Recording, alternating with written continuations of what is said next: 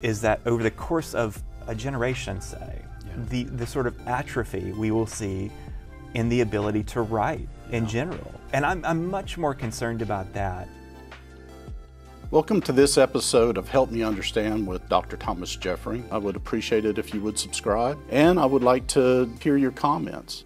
Generally speaking, in, in any educational uh, sort of scenario, there's um, suspicion. Of course. You know, yeah, and, right, and, right, right. And, and so, am I being, and may, maybe this is personal, but it's sort of like, am I being played? Like, Yeah, you know, okay. uh, so so in can find plagiarism, and that's Right. I love that part, so I don't even have to. Sure. But occasionally come across the, uh, something, and uh, maybe it's word scrambled, or you know, and there's just this like, man, I don't like being, I don't like that. You know, there's Yeah, so I it's don't a, know if y'all have It's that, a but- feeling of uh, a, f- a feeling like you've had one pulled over on you, right? This, Yeah, this yeah. idea that um, that uh, so we're talking about cheating, of course, right? So that's the the initial uh, reaction when we talk about Chat GPT is students using this in a malevolent way, sort of to, to cheat, right? To Yeah. plagiarize in new ways that are undetectable.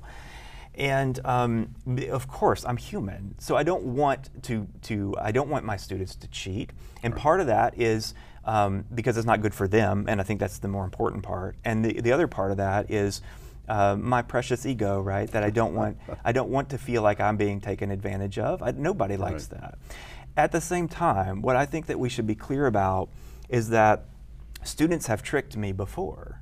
Yeah. Um, students have tricked all of us before in the profession because students tend to be ahead of the cheating curve a little more than we give them credit for, whether that's more traditional forms of plagiarism, whether that's um, going to essay mills, paying for essays.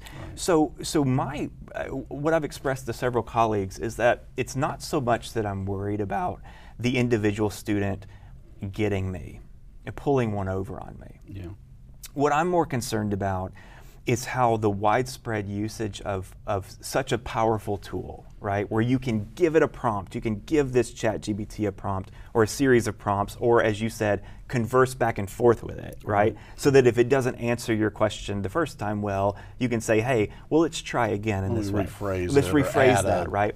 parameter. So, so my my apprehension is not that the individual student will trick me because that will happen and and and at the end of the day that is the student's responsibility and not mine.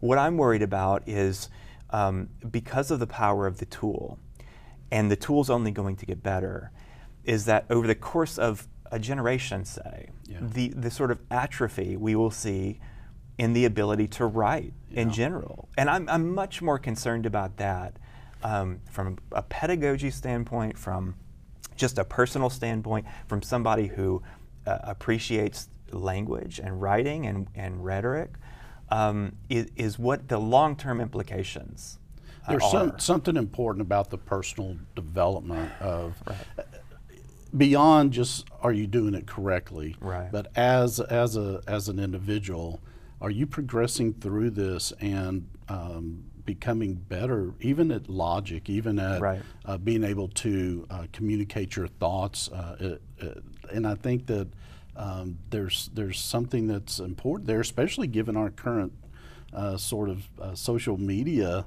Right. uh, situation where people don't converse at all and don't really Sure. think through their thoughts or just repeat. We were talking about echo chambers earlier Sure. and, and, and, and that sort of thing. I- I think one of the other things, and I don't know how you feel about this, but personally, it's a sense of ju- uh, hmm, fairness Sure.